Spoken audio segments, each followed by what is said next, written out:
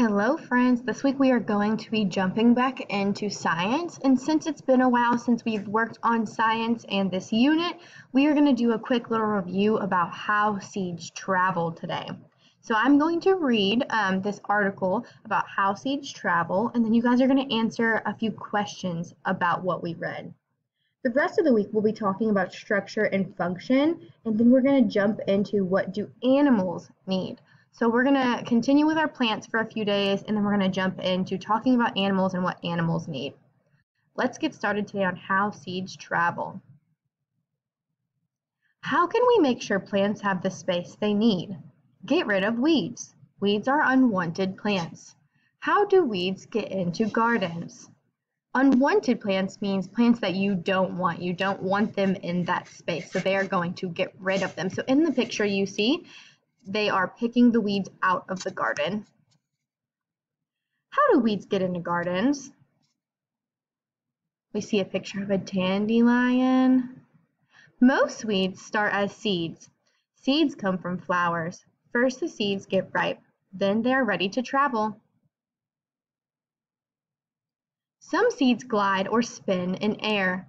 They might land far away. If they land on moist soil, they can grow.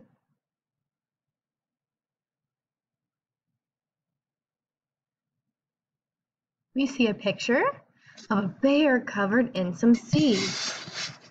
Some seeds are carried by animals like the bear in the picture. These seeds have little hooks. The hooks can hold onto animals' fur. The seeds go where the animal goes. So wherever this bear goes, the seeds will go with him until they fall off. Some seeds can even be carried by you. They can stick to your sweater or shoes.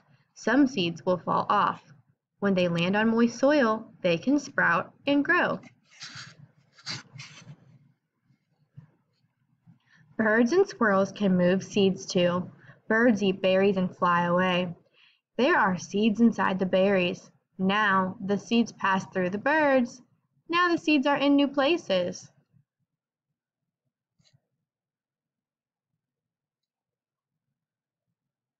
We see a picture of a squirrel eating a nut. Squirrels eat seeds too. They hide acorns to eat during winter. Lost and forgotten acorns can grow into oak trees. Seeds travel in many ways. Now, can you tell how weeds get into gardens?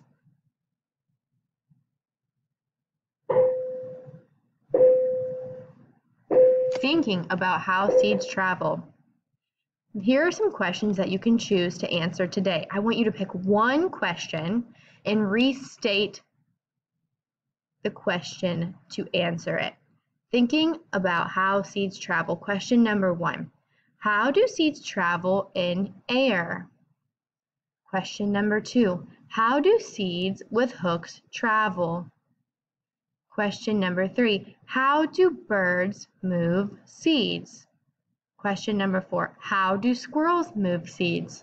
Just pick one of these questions to answer, and I want you to restate the question.